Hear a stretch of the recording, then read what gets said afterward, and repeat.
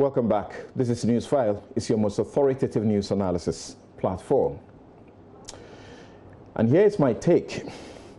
The government is doing well in fighting the coronavirus in this country, but we got to deal with this. My take is titled Corona Chaos Easy Spread in Free Food.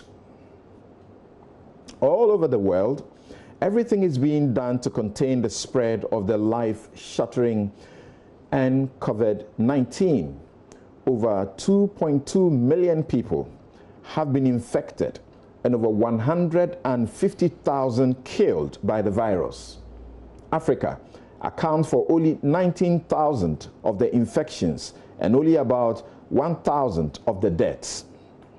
Countries with the best health systems have recorded in a day near Africa's total 1,000 deaths in two months.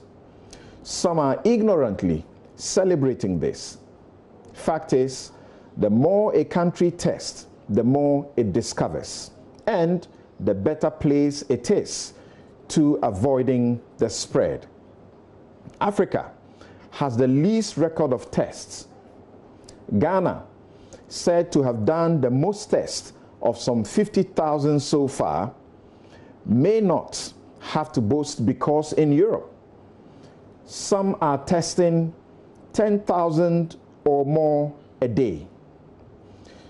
This is a respiratory disease. So when a patient must die because he or she cannot breathe, ventilators may give life. A journalist who got the virus in Zimbabwe died because there was no ventilator.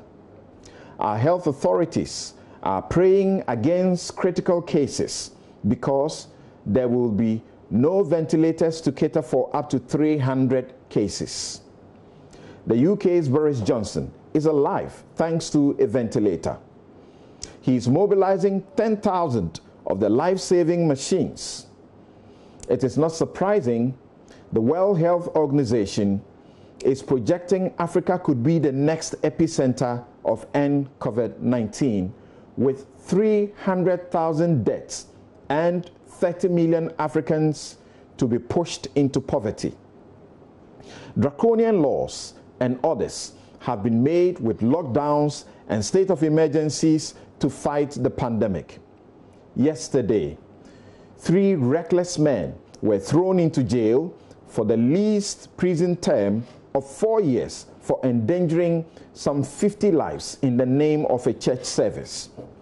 Over 400 people face similar fate for allegedly flouting measures intended to protect them from getting the virus. But are state officials and politicians endangering the lives of several hundreds and thousands of the poor and homeless not equally guilty of the offense? Footages of people falling on each other while trying to catch food parcels thrown at them from the top of trucks only demonstrate a most reckless conduct, serving as fertile grounds for an even faster spread of end COVID 19 in Ghana. Experts fear this is how Africa might explode with the disease. The state is apparently spending 2 million cedis each day to feed 400,000 people in lockdown areas in Accra and Kumasi. This is no rocket science.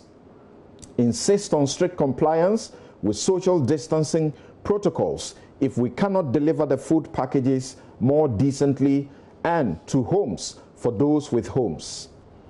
This same state chose this period to flatten what over 1,000 slum dwellers called homes without a thought of alternative temporary lodging for them at a time public school facilities are empty and those rendered homeless will not be granted their cry for permission to return to their hometowns and villages where they are assured of food and a roof over their heads.